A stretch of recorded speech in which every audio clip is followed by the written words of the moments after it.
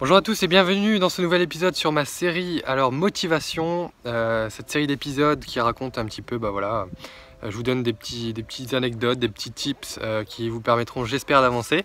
Alors aujourd'hui je vais parler un petit peu du potentiel que chacun d'entre nous a en soi, ce potentiel qu'on soit valide, qu'on soit non valide, qu'on soit handicapé, qu'on soit timide, ce potentiel qui est parfois caché, et bah dans cette vidéo j'ai envie de vous donner quelques petites idées pour essayer de réveiller tout ça. Alors peut-être depuis votre enfance vous entendez vos parents dire euh, tu n'arriveras pas à ceci, tu n'arriveras pas à cela, tu seras ceci, tu feras cela, laisse tomber ton rêve.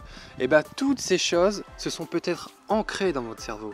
Alors ce que je vous conseille en premier lieu c'est déjà d'élargir vos pensées. D'élargir vos pensées et ne pas penser à ce que les gens ont pu vous ancrer dans votre cerveau ces pensées qui ont peut-être pu euh, inconsciemment vous inculquer des mauvaises choses qui vous guident au quotidien en brisant votre envie de pouvoir vous lancer. La bonne nouvelle dans tout ça, c'est que vous pouvez remédier à ça. Déjà, dites-vous, pourquoi je suis capable? Pourquoi je pourrais faire ce projet? Pourquoi je ne pourrais pas trouver l'amour de ma vie? Pourquoi je ne pourrais pas réaliser ce projet? Essayez aussi d'inculquer des pensées positives à votre subconscient, ce qui permettra de pouvoir libérer votre énergie, libérer toutes ces ondes négatives que vous avez pu avoir durant votre adolescence, durant euh, peut-être euh, l'école, durant euh, votre enfance avec vos parents.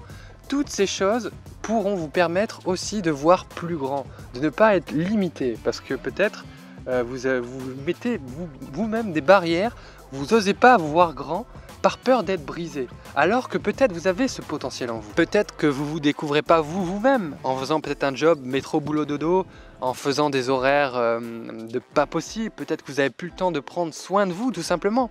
Et vous pouvez pas découvrir votre potentiel parce que vous n'avez plus le temps. Essayez de prendre du temps, essayez de prendre de la distance tout ça, sur ça. Essayez de prendre de la hauteur pour pouvoir vous découvrir, pour pouvoir faire quelque chose que vous aimez, quelque chose qui vous anime au quotidien et trouver mon potentiel. Et pour trouver mon potentiel, j'ai pris un peu de hauteur.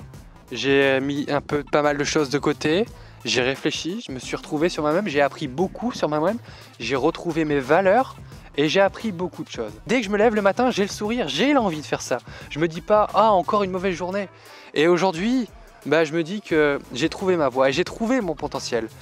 Peut-être que si j'avais écouté les autres, je serais toujours euh, dans un job où je fais métro, boulot, dodo, un job où je m'épanouis pas, du coup je, renvoie ma négativité sur ma partenaire. Peut-être que euh, avec toute cette euh, souffrance intérieure, peut-être je serais devenu aigri, peut-être que je n'aurais pas autant encore progressé sur mon handicap, peut-être que je serais j'aurais je me serais coupé un peu du monde, j'aurais pas euh, eu l'envie de découvrir, euh, de voyager, de malgré tout ce qui m'est arrivé, de continuer à avancer.